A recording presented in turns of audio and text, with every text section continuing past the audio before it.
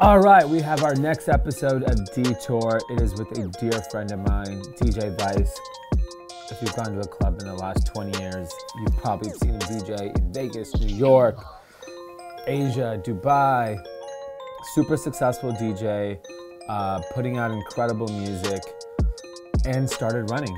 And we had an amazing conversation about the balance of our lifestyles. We like to have fun. Uh, we also like to be healthy. We also like to look good in our Instagram pics. Yeah, that's what I said. Instagram pics. It's important, even as us old men want to look good in them. So we talked about what are the steps to get there. He had some amazing stories about his uh, experiences with DJ AM and incredible advice from LL Cool J. Stay tuned. Take a listen to today's episode. So we're here with a, a good friend of mine, Vice, that uh, we've known each other probably 20 years. at 20 this years point. plus, yes. And I wanted to talk about something that actually I don't think a lot of people talk about is our crazy lifestyles. Um, we travel a lot. You travel more than more than I do, but it's eating out, it's drinking, it's all the stuff, all the worst things that you can put your body through. And for doing it for 20 years, it all kind of adds up. And I was just trying to have a thought about like how uh, we were just talking about the 10 year challenge, and Right. I was looking at everyone's picture. All of us look better today than we did 10 years ago. I, I hope so, yeah, right? Which is It's crazy because you should look like you should look shittier. Yeah. Just you know like, like 10 that high school reunion that everyone's scared to go to, like, oh, everyone's gonna be. Yeah, everyone's like but overweight. Like, I'm ready. Yeah, and now we we all look good and like you know, we we have a similar bond in tequila and running. Yeah. And how do you like at what point did you realize that like you're you were an unhealthy person and then like how did you change your lifestyle? Um, I, I actually, it's what's funny is I never thought I was unhealthy. Really? Because I was you were just skinnier. Well, no, no, I was big at one. I was big at one point. I hit 210 pounds, but I never thought I was unhealthy because I was just so engaged in my career of like my DJing, and I was like, yeah, and late nights and DJing, and going home so like pumped, like yeah, and I was like getting bigger and bigger and, And you guys used to crush it on the late night eating. Oh, dude! If you're if you're from LA, LA, you know about Danger Dogs outside the club. You Yeah. know, hot dogs, you know, bacon wrap. Yeah. And uh, I was with you know, rest in peace, DJ AM at his house, and he's like, "Bro, I'm I'm definitely skinnier than you." And I was like, "Hell no, no way!" And we just ate Damiano's, which is like the late night order Uh, From spot. Fairfax, yeah. You just crushed Damiano's, and uh, he, he weighed himself. I weighed myself, and I weighed more than AM. And it was right after his surgery, and I was like, "Whoa!" And it was honestly like my awakening point, where like, I'm unhealthy. Like Yeah. AM is actually skinnier than me, and I, and he was laughing his ass off, and it, it makes me happy this day to see him like smiling, like, "Ah, you're fat." And that was actually a turning point where I was like, dude, yes, we're both loving what we're doing. We're out DJing, but it's like, but you're deteriorating. You're like, you're going to shit. Yeah. You're you're not good. And I, How old were you then? I was probably 20, 24, 25. That's so you're pretty young.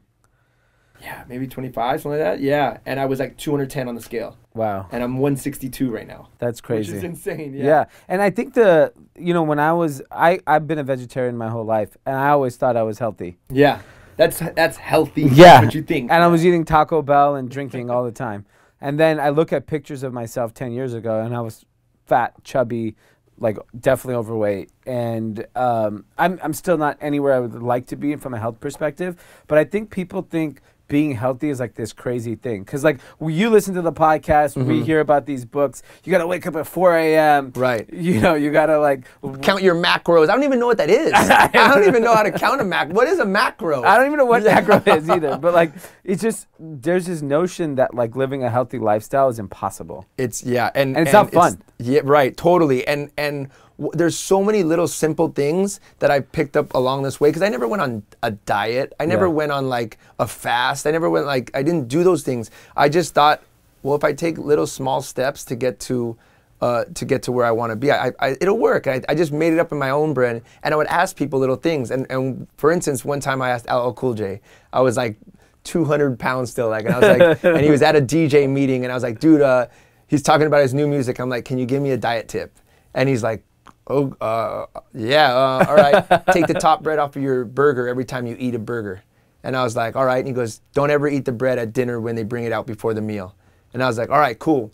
and I literally walked away. This, that was this is 15 years ago, and I've never done that. I always take the top bread off of a sandwich. I never eat the bread when it. I, I try to never eat the bread when it comes out. Yeah. Like, but like little things like that. I was It's like, crazy how those little steps make all the difference. small little steps. Like I did, like I never went. I never eat dessert at restaurants anymore wow. because it's just another thing that I have to. It's like you're fighting a war. I used There's to like drink battles. two Snapples every meal.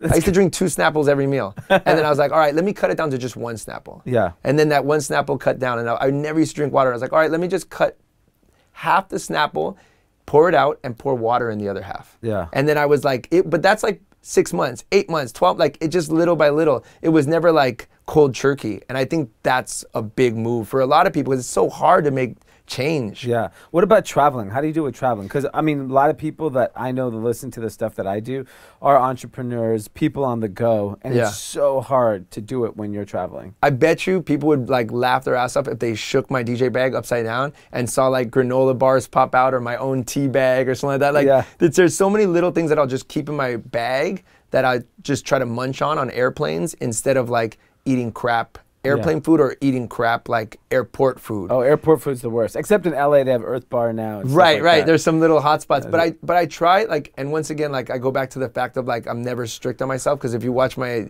IG stories, I'll be eating Chick Fil A at like 8 a.m. in the morning, like scarfing it down. But that's one time out of like maybe the month where I just broke and I'll have something really crappy and and eat whatever I want and extra sauce. But a lot of the other times I'm just trying to snack on whatever I have and I bring pack my own shit. Yeah, I think like that. Packing your own food is so so valuable. So valuable. Because yes. eating eating when you're traveling is just the hardest thing for me. Because like obviously I want to indulge. Yeah. And it's just the options are limited when you travel, and I think people people who work really hard often look unhealthy. Yes, totally. And not being embarrassed to get a workout in wherever you're at. So this is like one time I do a mile a day challenge where I run minimum a mile a day and I'm over 400 days in. And one day I was traveling and I was in Miami and I was like, dude, I'm not going to be able to get my run in. Uh, when I got to the airport, I was like, when I land, I have to do this, this, this. I'm, dude, I'm for sure not going to get my run in, but I have about 30 minutes before we board this plane, and I ran across the Miami airport half a mile inside the terminal after already through security and turned around and ran back through it. and I didn't care. I was like, fuck it. Yeah. Like, I'm going to get my mile in. And I looked and I did my watch, and I'm like, it looks like I'm running to my gate for a flight. Like, there's always people running in the airport. And I came back and I looked and I have it on the map. It's like th- through the terminal, I did a mile back and forth. That's crazy. And then what about in terms of like, how'd you get in, into running? Like, I mean, I, I- know you mentioned it. You my wife got me like the open to the idea and then now it's definitely my meditation of just running every day. And whether it's a long run or a short run i always run with no music and it's that time that i clear my head. And i have the best ideas. A lot of them are terrible and maybe one or two of them are good every run but i mean i write those down after my run because that's like such a clear get everything out of your system you sweat it out you you spit it out you know and then you finally your brain starts functioning in a, i feel like in a different wavelength and i start thinking of different ideas and i write them down when i'm out of that run And and why do you think that like, as we got older, like we we started taking care of our health? Is it like the like fear of like? social media. We started seeing everybody else on and figuring out That's this it, isn't it? straight up. I start you start seeing like other people and how they're working out and you and flat tummy teas and all this Yeah. crap and you're like it's just so in your face of like that like to take care of yourself and also hearing about like the unfortunate people that have passed away from like unhealthy lifestyles. Yeah. Like seeing that so much in your face it's like I don't want to be that that number of Yeah. like I want to drink, I want to enjoy it, but I still want to balance it out. And Yeah. and I feel that really social media because I didn't watch news growing up and Yeah. CNN and all that shit. Like, but Yeah. now I follow CNN Yeah. and I follow like all these different news reports. So I think just really with having that in your hand every day and and being able to access any information that's there now, yeah, I didn't I didn't think about that. Social media is probably the reason why we're all healthier. S- straight up. Yeah. Our pictures, yeah, Yeah, because you don't want to look fat in your pictures. yeah, you don't want to look fat in your pictures, yeah, dude, yeah. That's enough for me. And, and I, I'm pretty sure a lot of guys, we don't use those apps that some of the Instagram models are using to like up their faces. if I knew how to do it, I would. That's a whole nother job. Yeah, yeah. I'm, I'm, uh, but it is true, man. It is. Yeah. And, and in, in, in our job, like whether you're a CEO of a company, you know, let's say you're going to be on the cover of Wired magazine.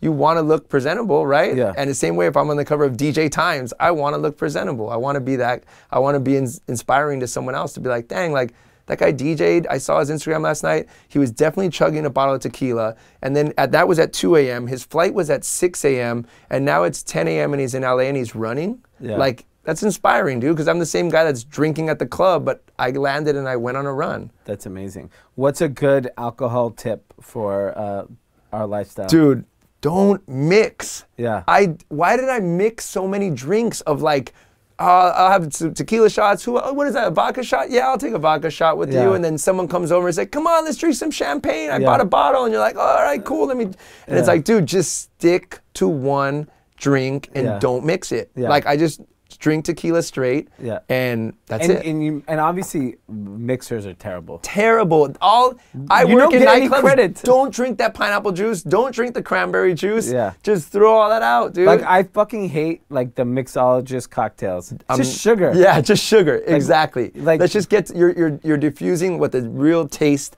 of the drink should taste like. If you like vodka, just drink it on the rocks. Throw some ice in the Tito's that you're drinking or whatever it may be, or in your tequila and just drink straight. What's a good uh, kind of takeaway for uh, someone that's unhealthy, works a lot, travels a lot? Where should they start? dude start with one step not Yeah. like taking I, I i really like i said kind of going backwards and saying like well i drink two snapples a day and i'm, gonna drop one and i'm gonna still only drink one. It's like it's not trying to be like i'm never gonna do this again. It's so when you go to the workout it's like all right I, for instance, I run a mile a day. When I before that, I was like, I'm only gonna run a quarter mile first, and then Yeah. I'm gonna go like Yeah. it was super baby steps. Yeah. And I'm not looking for a result right away. I'm just looking for the fact that I know I accomplished at least a little of something every day. Especially the LL Cool J tip was actually Dude, amazing. It's so amazing. Just take the top bun off of your bread and throw it out. Yeah. That's so good. And then yeah, it's funny because at Chick Fil A or any, I'm super into Chick Fil A. I don't know why it's so bombs. Yeah. Um, but uh, or In and Out or whatever. Like I don't I don't eat red meat, but like I throw the top bun off always, and Yeah. it's like you you always go back. You're like oh shit, like I always feel good. At least I got rid of half of those carbs on that thing. Yeah, such a simple tip. Thank you, LL. On that note, yeah. perfect, perfect. Bam. end. LL Cool J giving the, the health tips to the Yes. youth. So we're fueled by tequila on this next run. Yes. Yes, sir. Thank you.